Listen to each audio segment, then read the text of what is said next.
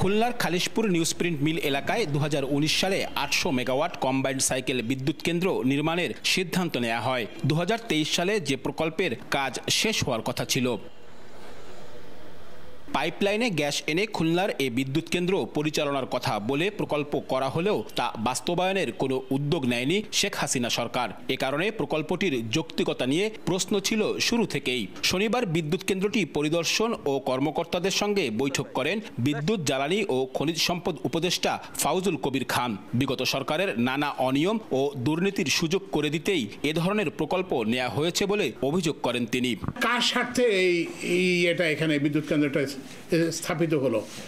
কার স্বার্থে? এখানে আট হাজার নয় হাজার কোটি টাকা খরচ হলো, কিন্তু মানুষ এটা থেকে কোনো উপকার পাচ্ছে না।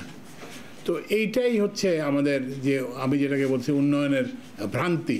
আট হাজার কোটি টাকা ব্যয়ে এই প্রকল্প এখনও নির্মাণাধীন। চলতি বছর প্রথম ইউনিট চালুর কথা ছিল। তবে বিদ্যুৎ কেন্দ্রটির ওয়েবসাইটের সূত্র বলছে কেন্দ্রটি বাণিজ্যিকভাবে উৎপাদনে যাবে দু হাজার সাতাশ সাল নাগাদ। কোন ধরনের জ্বালানি দিয়ে এই কেন্দ্র চালানো হবে তা নিয়ে সিদ্ধান্তহীনতায় সরকার। পাইপলাইনে গ্যাস কিংবা বিকল্প অন্য কোনো উপায়ে জ্বালানির চেষ্টা করা হচ্ছে বলে জানান অন্তর্বর্তী সরকারের উপদেষ্টা।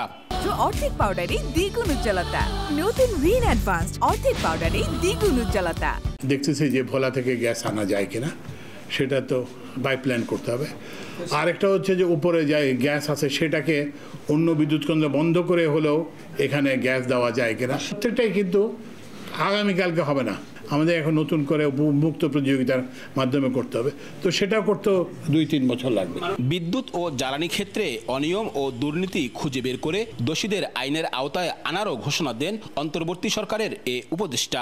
বিচারপতি Mainul professor Mushtaq doctor Zahid Hossain doctor Zahid Hossain এবং বুয়েটের একজন অধ্যাপক। ওনা, ওনার সঙ্গে এখনও আমি কথা শুরু করছি, কিন্তু কথাটা যেহেতু ইয়ে হয় না, তার নামটা আমি এখন বলতেছি না।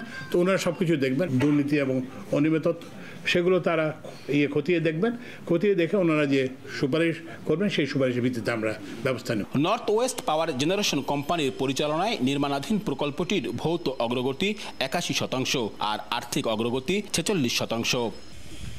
আবদুল্লাহ আল মামুন রুবেল সময় সংবাদ খুলনা।